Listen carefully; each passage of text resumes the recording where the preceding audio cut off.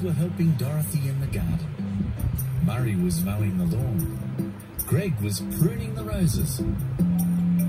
Anthony was feeding the plants, and Jeff. Jeff was asleep. Wake up, Jeff! They cried. Jeff rubbed his eyes. Well, I wasn't asleep, he said. I was just thinking how quickly weeds grow in a garden.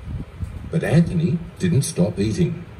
I want to make sure that all the food is yummy for our tummies.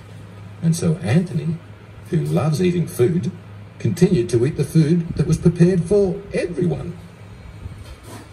The excitement of the party and hanging all the decorations made Jeff feel sleepy. I think I'll have a little nap, said Jeff. And so Jeff slept while Anthony continued to eat the party food. Said Jeff. Here come Henry and Wags, and they've brought a friend with them.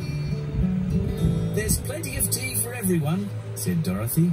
Come and join us and introduce us to your friend. This is Kylie the kangaroo, explained Henry. And she's very worried because her little Joey has disappeared. I'd been munching some sweet grass, explained Kylie. And I called Joey to hop back in my pouch, but he was nowhere to be seen, and I don't know where he's gone. Don't worry, Kylie, said Greg. You just sit and have some rosy tea with Dorothy, and we'll look for him. Come on, everybody. Murray went to the creek. Have you seen Joey? He asked Penny the platypus. Not me, she replied, diving down amongst the reeds. Anthony asked Eden the echidna, who was snuffling the earth. Have you seen Kylie the kangaroo's Joey? Not me, said Eden. I'm looking for some fat ants for my dinner. Jeff called into Wally the wombat's burrow. Have you seen little Joey? Wally waddled out crossly.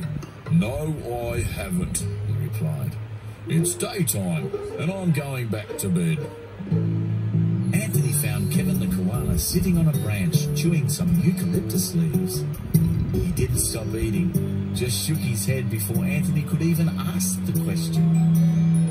Just then, Wags noticed Kelly the kookaburra on a high gum tree, laughing and laughing. You wouldn't be looking for little Joey by any chance. Everyone looked up, of a tall, stringy bark, was Joey, looking frightened and miserable. How did he get up there? wondered Greg. And how will we get him down? The other Wiggles could not believe their eyes. Most of the food had been eaten. I told you the flies were bad, said Anthony. Flies? I don't think it was the flies, said Greg.